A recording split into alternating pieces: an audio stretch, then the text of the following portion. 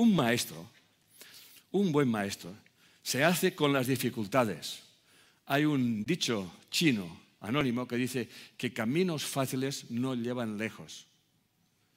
Y una frase que utilizo mucho que es, un mar en calma no hace marineros. Por lo tanto, las dificultades nos enseñan a sobreponernos.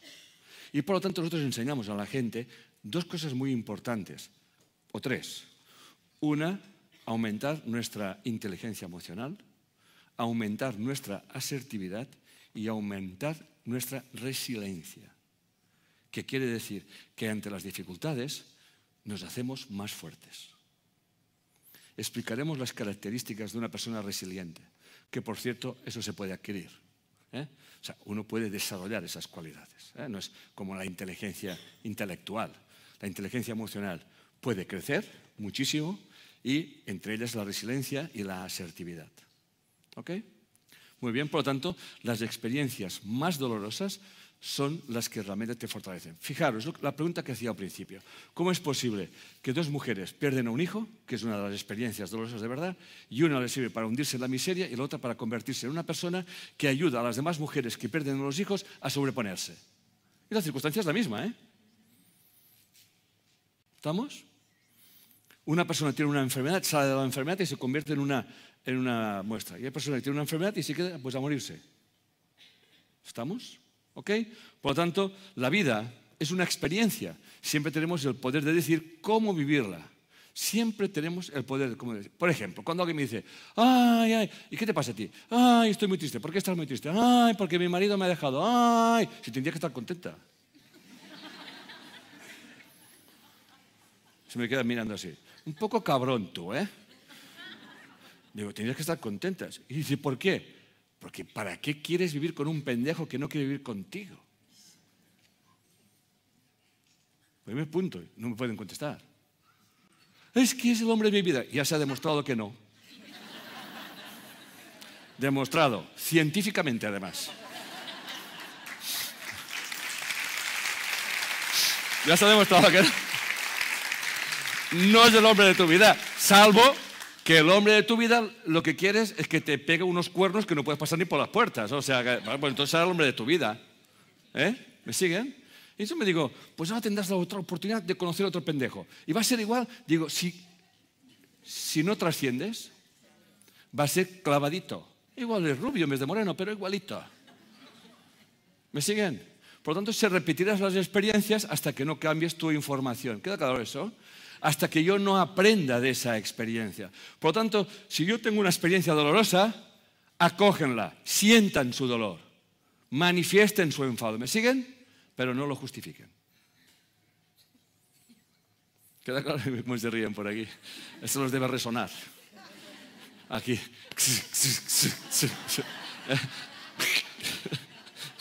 ¿Eh? Claro, si es así, es así. Y un día me acuerdo que mi mujer, la primera mujer, llegó a casa y me dijo, es que no sé si quiero vivir contigo. Yo estoy tranquila. Pues si tú no lo sabes, yo me voy. Y me divorcié. Tan simple como eso. ¿Eh? Se acabó allí. Mientras te lo vas pensando, yo me voy. Pero cuando alguien duda de eso, pues ya no das más vueltas al tema. ¿Me van siguiendo? Pero ¿para qué alguien te dice esto? Para hacerte sentir culpable. Espera que tú cambies. ¿Sí? Seguimos. Ahí está la resiliencia, que es la capacidad humana de asumir con flexibilidad situaciones límite y sobreponerse a ellas. ¿Ok? La persona resiliente es una persona que cae mil veces, mil veces se levanta y cada vez que se levanta es más fuerte. ¿Estamos? Porque estoy en paz. Porque todas las putadas que he vivido me han convertido en un maestro. ¿Entiende? Es así. Por lo tanto, que su jefe, como me decía, es que mi jefe me ha despedido. Dice, ¿y tú cómo vivías? Estaba aburrida. Pues por eso te despidieron, hija mía. Estabas aburrida. Si estás aburrida, eso se queda en el campo cuántico. El secreto es, amen lo que están haciendo. ¿Eh? Yo entro en Estados Unidos, el alguacil de, turno allí, quiero ser simpático, le digo cuatro cosas, me dice, ¿usted qué va a hacer aquí? Ah, pues mire, estoy invitado a un congreso para la conciencia y tal, ¿y esto qué es? y dice, pues bueno, a, gestionar las emociones, a vivir la vida, a cambiar de pensamiento. Dice, ¿me puede usted darme un pensamiento para ser feliz? Este era el pase para pasar a Estados Unidos, no tenía otro, o sea, tenía que, tenía que contestar. Mi mujer me miró así queriendo decir, ándale. y yo le dije, ame lo que está haciendo, dé gracias por el trabajo que tiene y gracias por el país que le ha acogido y le ha permitido, vivir con dignidad. Apruebe el examen. ¿Ok? Es el consejo que doy a todo el mundo. Nadie está en un lugar equivocado.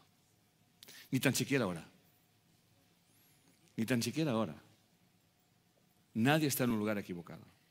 Todo el mundo está en el lugar que debe de estar, haciendo el papel que le funciona, que le corresponde. Por lo tanto, si ustedes quieren saber qué información llevan, no se preocupe. Don't worry, be happy. It's in front of you. Está delante de usted. ¿Ok? Lo tiene delantito. Y normalmente se acuesta con él. O con ella. Lo tiene delante. Su marido, su esposa, este es lo que más, ¿eh? Cuando más juntos, más información, ¿eh? ¿Ok? Tus hermanos, tus hermanas. Por ejemplo, con las hermanas. Quien tenga hermano o tenga hermanas, eso lo tienen de maravilla. Piensen en un hermano o en una hermana que ustedes la tildarían de, es que esta hace todo lo contrario que yo. ¿Lo tienen pirado ya? Pues es, lleva la misma información que ustedes. ¿Estamos? Pero se lo muestran en, otro, en, otro, en otra polaridad. ¿Me siguen? ¿Ok? Una que se desvive por la bruja de su madre, entre comillas, la bruja de su madre, ¿ok? Y la otra que no quiere saber nada. Y encima, la que se obliga a cuidar a su madre, se obliga a cuidar a su madre. Y se cabrea con su hermana porque su hermana está haciendo aquello que ella le gustaría hacer, pero que no se atreve a hacer. ¿Le suena? La víctima la maestra. ¿Estamos? ¿Ok? Por lo tanto, busquen todas sus creencias irracionales y empiezan, tengo que, debo de. ¿Le suena? Porque cuando uno dice yo tengo que o debo de, es que no lo quiero hacer. Tengo que cuidar a mi marido, ya veo que no quiere. pero es que es mi marido, pero no quiere. ¿Por qué? Porque tengo que cuidar a mi marido. No. Mi mujer no, me, no tiene que traerme el café cada mañana. Me lo trae y me despierta. Y hasta me da un beso. Dice, ¿cómo has dormido, cariño? Pues mira, ahora mejor. ¿Estamos? Ahora se va a enfadar conmigo mi mujer porque siempre digo esto, pero bueno, es igual. Pero es verdad. Luego ella dice, bueno, es que me levanto pronto y hago café. Y cuando hago café, te entro algo para ti. Y digo, sí, pero hay muchas formas de hacer el café. Toma café. ¿Eh? ¿Me siguen? O te lo ponen allí en la, mesita y dice, cariño, en un susurro, aquí tienes el café, ¿eh? Son las 7 de la mañana. Ah, gracias. ¿Sí? ¿Van siguiendo? No es lo que hacemos, sino cómo lo hacemos es esto. ¿Sí? ¿Queda claro? Por lo tanto, cuando se encuentren con situaciones molestosas, disfuncionales, aprenden, ahí tienen una oportunidad de aprender. ¿Ok? De hacerse más fuertes. ¿Sí? Muy bien. Características de las personas resilientes. Afrontan los problemas con serenidad, reflexionan antes de tomar una decisión y saben escuchar sus sentimientos y sus emociones no se engañan. ¿Me siguen? No se engañan. No se dejan abatir por las circunstancias adversas. Se levantan tantas veces como haga falta y aprenden de la experiencia. Y tienen un gran sentido del humor. Saben dar la vuelta a una situación muy dramática. Son oportunas y nunca desconsideradas, pues empatizan muy bien con el dolor ajeno. Es una persona, un, chico que viene a mi consulta, que ha tenido un cáncer de testículo. Miramos las historias y realmente esa persona vivió una situación que se obligó a vivir, ¿eh? pero que no quería vivir. O sea, se obligó a hacer. Y entonces yo le dije, pues mira que esa pendejada te ha costado un cojón. Y el tío se puso a reír a carcajada limpia, ¿me entiendes? Esto es lo que nos referimos. Desdramatizamos la situación, ¿me siguen?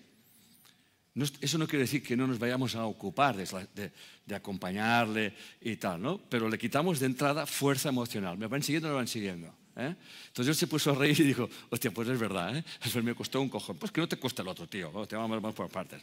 Por lo tanto, son personas, las personas resilientes, valga la redundancia, que saben vivir en las polaridades, que comprenden que el cambio es inevitable, que cuando hacen un acto creativo va a surgir un acto destructivo.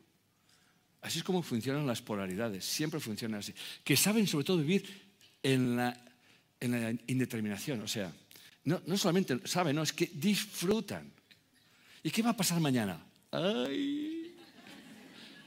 O sea, dejan experimentar la vida. ¿Van siguiendo? ¿Ok? Y saben empatizar, sobre todo saben empatizar muy bien. O sea, no se unen al sufrimiento de las personas. ¿Me estoy explicando? Sino que se unen a la, a la persona, no a su sufrimiento. La acompañan a salirse de esa historia. No, ay, sí, ay, los hombres son los hijos de puta, todos son los hijos de puta, para que todos piensen en lo mismo, ay, sí, ay, sí, ay, sí. Y venga, pum, pum, pum, pum, pum. Hacemos una cofradía de las mujeres que son engañadas por los hombres, venga, va, vamos a hacer. Y todas las pendejas allí llorando, cada viernes hay que llorar. Los hombres son muy malos, los hombres son muy malos, y me piensan lo mismo. Bueno, eso es verdad, sí me piensan lo mismo, pero aparte de eso no hay que sufrirlo. ¿Ok, familia?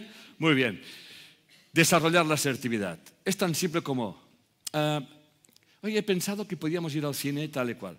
Pues no, gracias. ¿Cuántas veces dicen sí y quieren decir no? ¿Cuántas veces dicen no y quieren decir sí? Y luego se quejan. Y tú sosteniéndola. ¿Me siguen? ¿Me van siguiendo? ¿Eh? Claro, porque ustedes son buenas. No, pelotudas. Son pelotudas. Claro, si te, llama tu amiga, si te llama tu amiga para decirte, oye, que el pendejo de mi marido se ha ido como cada viernes, ¿eh? nos vamos de fiesta, vamos. ¿Me siguen? Vamos de fiesta. Pero para que me cuentes la misma pendejada, no. No sé si me estoy explicando. No se trata de ir o no ir. Se trata de que nos repitamos, que no estemos dando chance siempre lo mismo. ¿Queda quedando claro eso? Repito, no se trata de hacerlo o no hacerlo. ¿Sí? Por tanto, la persona que es asertiva te dará su opinión y no te va a ofender. ¿Entiende? No te va a ofender. Porque ella se respeta y te respeta desde su respeto. ¿Estamos? Mira, cariño, oye, yo si quieres de fiesta vamos, pero como me hables de tu marido, te juro que te ahorco. ¿Eh? No me lo mientes Vamos, ni nada. Entonces salimos. ¿Estamos? Mamá, si quieres venir a casa para hablarme de que papá es un zángano, no vengas. Si quieres tomar un chocolate conmigo y pegarnos unas carcajadas, ven. No sé si me estoy explicando. ¿Va quedando claro? Esto es asertividad.